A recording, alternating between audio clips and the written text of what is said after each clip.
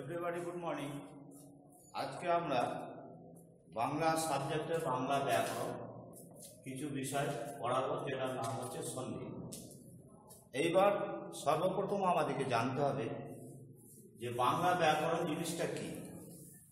বাংলা ব্যাকরণ হচ্ছে যে বাংলা বই পড়ে আমরা শুদ্ধ করে বাংলা ভাষা বলতে, শিখতে, লিখতে পারি, সেটাই হচ্ছে আমাদের বাংলা ব্যাকরণ। এই বাংলা ব্যাকরণ যদি আমরা ঠিকমতো না পড়াশোনা করি, তাহলে আমরা ভাষা সম্বন্ধে জানতে পারব না এবং লিখতে বা বলতে ঠিকমতো পারব না। তাই বাংলা ব্যাকরণ পড়া দরকার। এইবার হচ্ছে আজকের বিষয়, সেটা হচ্ছে বাংলা ব্যাকরণের সন্ধি বিচ্ছেদ। সন্ধি বিচ্ছেদ বা সন্ধি জোড়ার কথা আজকে বলা যাবে তা সন্ধি কি? সন্ধি কথার অর্থটা কি? সন্ধি মানে হচ্ছে মিলন। সন্ধি কথার অর্থ হচ্ছে মিলন। তাই সন্ধি কথার অর্থ বলতে গেলে এখানে বোঝায় মিলন। এইবার সন্ধি কাকে বলে? সন্ধি কয় প্রকার ও কি কি? তার সঙ্গে একটা করে উদাহরণ। তা সন্ধি কাকে বলে?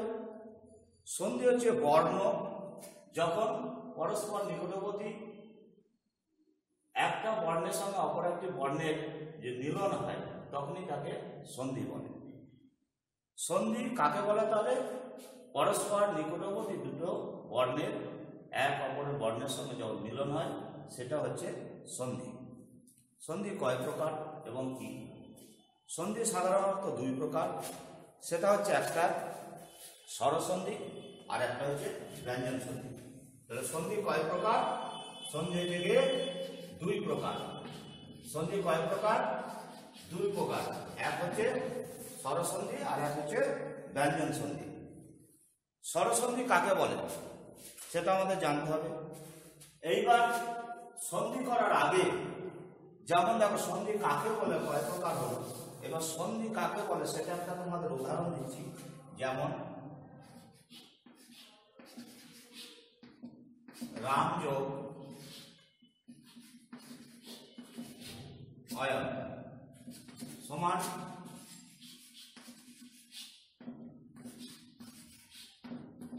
রামায়ণ।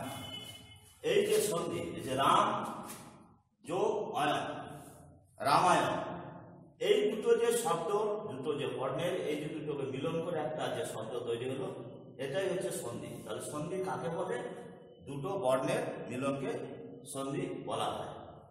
এবার সন্ধি কয় প্রকার সন্ধি হচ্ছে দুই প্রকার, একটা হচ্ছে স্বরসন্ধি, একটা হচ্ছে ব্যঞ্জন সন্ধি। স্বরসন্ধিটা আবার কি? স্বরসন্ধি হচ্ছে তাই একটা স্বরবর্ণের সঙ্গে অপর একটা স্বরবর্ণের মিলনকেই স্বরসন্ধি বলে। একটা স্বরবর্ণের সঙ্গে আরেকটা স্বরবর্ণের মিলনকে স্বরসন্ধি বলে। যেমন দেখো একটা উদাহরণ। উদাহরণ হচ্ছে, যেমন, নবযোগ অন্ন সমান নবান্ন কথা হচ্ছে নব, নতুন আর অন্ন মানে ভাব বা খাবার। তাহলে নবযুক্ত অন্ন সমান নবান্ন। তা সন্ধি, এই একই জিনিস বয়ের সঙ্গে একটা অ উচ্চারণ হচ্ছে, আর এই একটা অ। এই দুটো মিলে কি হলো? আকার। আকারটা আমরা কোথা থেকে পেলাম? তাহলে বয়ের সঙ্গে একটা অ উচ্চারণ হচ্ছে, আর এই একটা অ। তাহলে সেই অ যোগ অ মিলে আ হয়ে গেল। তাহলে সূত্রটা হচ্ছে কি হলো?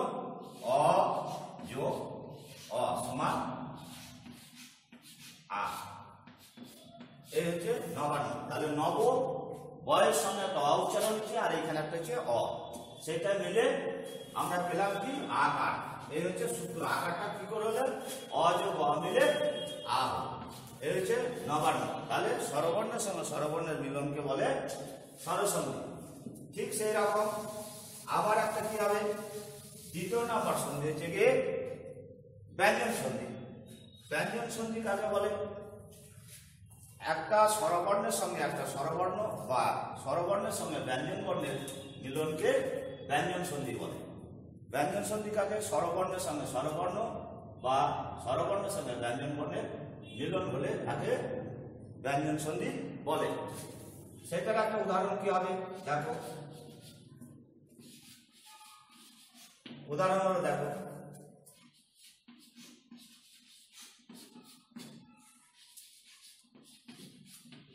কি হলো? সম যোগ লগ্ন। তাহলে কি হলো? সম লগ্ন। এই যে ব্যঞ্জন সন্ধি, তাহলে সমযোগ লগ্ন সমান সংলগ্ন এই কথাটা কি হলো ব্যঞ্জন ব্যঞ্জন এই যে ম আর ল, ম, ল, এই দুটো মিলে অনুসার এইখানে আমরা সংলগ্ন। ব্যঞ্জন সন্ধি একটু শক্ত, কিন্তু স্বরসন্ধিগুলো ভালোভাবে বোঝা যায়। পরে আমরা আবার এই সম্বন্ধে কিছু তোমাদের সূত্র সঙ্গে, কিছু তোমাদের পাঠিয়ে দেওয়া হবে, সেইগুলো তোমরা ভালো করে পড়বে